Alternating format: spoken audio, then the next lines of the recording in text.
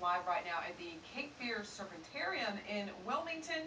So Stacy, where are you likely to find these snakes?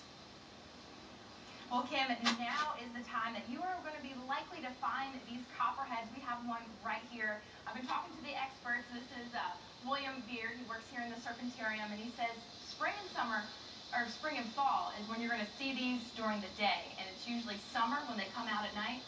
Yes, ma'am. Now, this species of snake, spring and fall, is the height of their activity. Mm -hmm. So spring, they're emerging from hibernation. They're seeking food sources, they're seeking mates, mm -hmm. and they're seeking good spots to spend the summer. And you are the expert, so I know you are going to be actually taking this one out and handling it. I'm going to walk way over here and let you do that.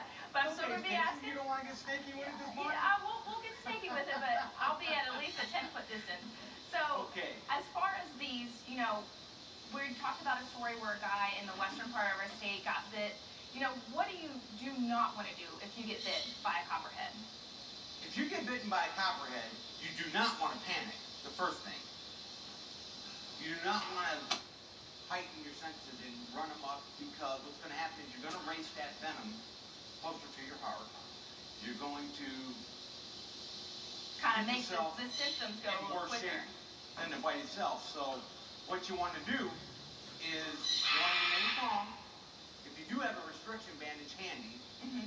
you know, start above the bite and work towards the bite. And get yourself medical attention as soon as possible. Get to a hospital.